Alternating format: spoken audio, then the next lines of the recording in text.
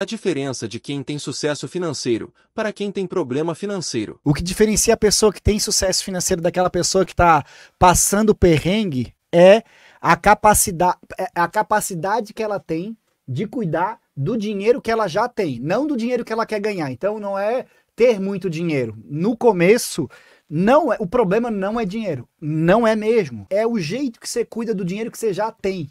Então, a gente sabe que cuidar do dinheiro às vezes não é um passeio no parque, mas não cuidar aí te prepara para ter problemas não só na vida financeira, até na tua saúde.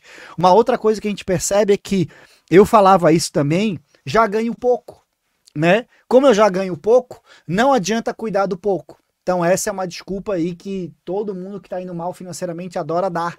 Ah, eu ganho mil reais, ganho dois mil reais, ganho três mil reais, o que, que adianta cuidar dessa quantia?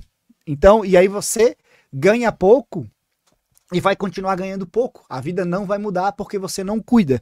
Então, aí a gente sempre fala, né, que é somente quando você tomar a decisão, e aí não tem a ver com quantidade de dinheiro que você tem, mas decisão. Decisão você toma, independente se tem as condições favoráveis ou não. É uma decisão de cuidar do seu dinheiro que a sua vida financeira vai mudar. Esse é o caminho mais rápido para ter uma situação financeira onde você pode escolher se quer ou não trabalhar.